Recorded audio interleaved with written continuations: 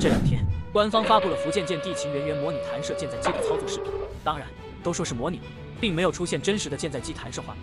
只有等地勤人员全部训练完毕，才会开始真正的弹射试验。所以今天我们就以这个视频为载体，来模拟一下空警六百从福建舰弹射升空的全过程。福建舰一共有三个起飞位，此次空警六百选择一号起飞位弹射升空。空警六百启动后，将会由地勤人员指引空警六百滑行到指定的起飞位。空警六百抵达起飞位后，第一步会在穿着黄色衣服地勤人员的指挥下展开折叠柱的机翼。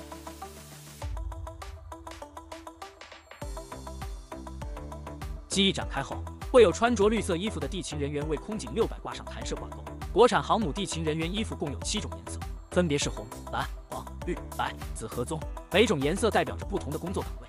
空警六百挂上弹射挂钩后，弹射准备工作就基本完成了。此时只要在地勤人员的指挥下。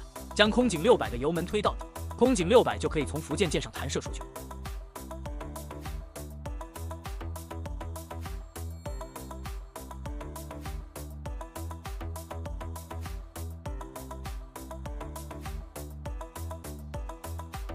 现在空警六百已经从福建舰航母上弹射升空，这放在以前华跃式航母上是完全不敢想象的，但最终还是让我们给实现了，以后就再也没有弹射不了的烦恼。